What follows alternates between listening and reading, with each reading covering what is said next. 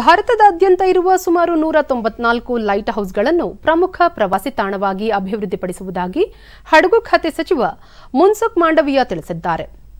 ಈ ಸಂಬಂಧ ನಡೆದ ಉನ್ನತ ಮಟ್ಟದ ಸಭೆಯ ಅಧ್ಯಕ್ಷತೆ ವಹಿಸಿದ್ದ ಅವರು, ಇದರಿಂದ ಲೈಟ್ ಹೌಸ್ ಸುತ್ತಮುತ್ತಲ ಪ್ರದೇಶದ ಪ್ರವಾಸೋದ್ಯಮ ಚಟುವಟಿಕೆಗೆ ಉತ್ತೇಜನ ದೊರೆಯುತ್ತದೆ ಮತ್ತು ಲೈಟ್ ಹೌಸ್ಗಳ ಶ್ರೀಮಂತ ಇತಿಹಾಸ ಅರಿಯಲು ಅವಕಾಶ ದೊರಕುತ್ತದೆ ಎಂದು ತಿಳಿಸಿದರು.